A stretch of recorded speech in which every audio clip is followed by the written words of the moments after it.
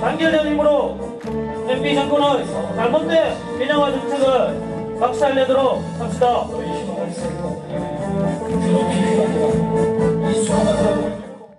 지금 이 시점에 정부가 민영화를 강요한다는 것은 자주 국방과 국가 이익을 팔아서 특정 재벌에게 특기를 주기 위한 꼼수가 아닌가. 만약 대한항공이 계속하여 항공항공 우주 산업의 지분 매각을 백책하고 선동한다면 그리고 내각에 참여한다면 항공항공 우주산업 노동조합은 모든 역량을 다하여 반대 투쟁을 전개할 것이며 그 어떤 방법을 동원해서라도 반드시 싸워서 막아낼 것입니다.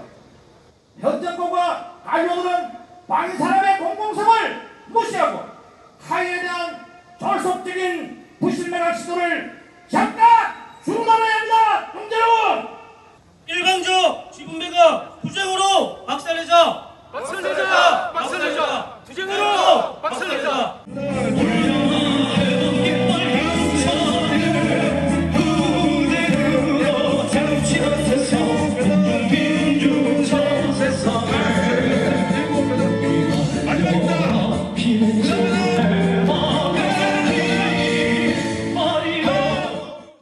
2천명 조합원의 종이와 전조직적 단계를 바탕으로 민영화 반대 투쟁을 승리로 이끌기 위해 모든 수단과 방법을 다해 투쟁을 전개해 나갈 것이다.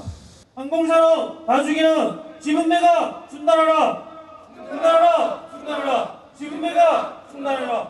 확정재벌 다 퍼주는 밀실매각 처리하라! 처리하라!